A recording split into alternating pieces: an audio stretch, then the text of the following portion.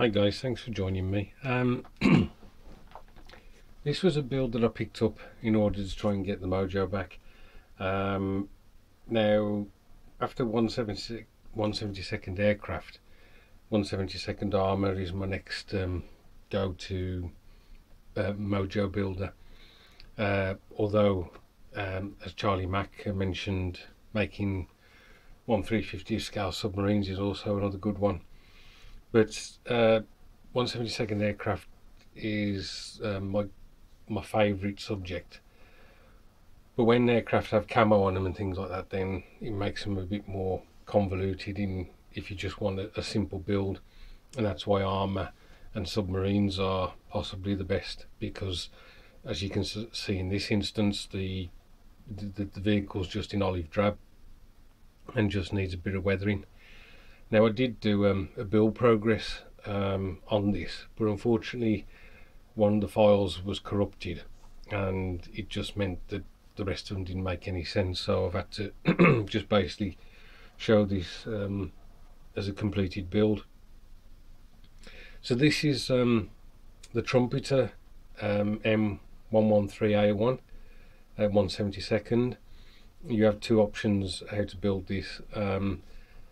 And I wanted to build it as a Vietnam um, era vehicle because I've already got an M113 built that I did some time back and it was the Italeri one which I think was the uh, support vehicle.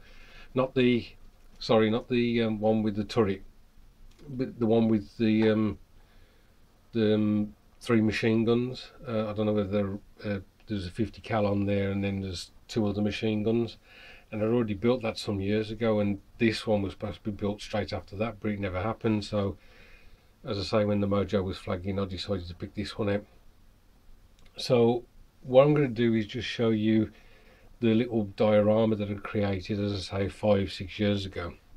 So here it is guys and as you can see the the other vehicle that I built as I say a while back is there at the front and then we've got this one at the back. Um, obviously they don't match because different weathering techniques just resulted in a, a different result. Um, I think I probably prefer the one I've done recently, if I'm honest. I like the way that the sludge wash has kind of um, made it look um, makes it look a bit meaner if, if I'm honest um, there we go uh, the the diorama is just a very simple bit of piece of hardboard, some DAS modelling clay to make the road, and uh, then some broken up uh, hedge that I had that I, I, just pulled it apart and stuck it down at the bottom of uh, either side of the road to make it look like the beginnings of a paddy field. Two different colours, uh, obviously the darker brown um, with a gloss finish to make it look wet and then the um, terracotta to make it look more like um, a, a, road. Uh, fortunately, I still had the MIG pigments for the uh, for the they actually call it Vietnamese earth, so I was able to do some uh, weathering on the the second vehicle. I can't even recall what the um, figures uh, are from. Obviously, they're American Vietnam um, era. They may be um, Italeri. I, I can't remember. Originally, the the diorama was just the the front vehicle in the middle, and obviously no second vehicle. Of course, it's probably not historically accurate. The vehicles are probably too close, and and the the infantry are probably in the wrong positions. But it just kind of is to set the builds off, to be honest. So anyway, that's um, my first build in quite some time. Uh, I'm glad to have this on the shelf.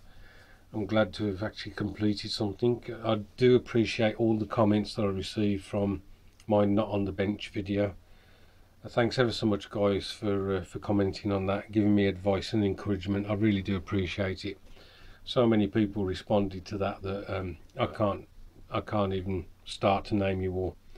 Um, but uh, it was it was nice of you to do that. Um, and I think that I knew that's really I'd got to step back and just build something I wanted to build. What's happened since is that uh, some of the uh, projects that I have got on board, um, I've been filling about a bit, making a bit of progress on them. This has been the main project and the one that's um, set me going again, uh, and uh, just adding bits and pieces to the others. So thanks ever so much, guys. Um, so that's basically it. The uh, M113A one from um, from Trumpeter 172nd scale, as I say, and uh, hopefully I'll have a build for you guys soon. Thanks ever so much for watching.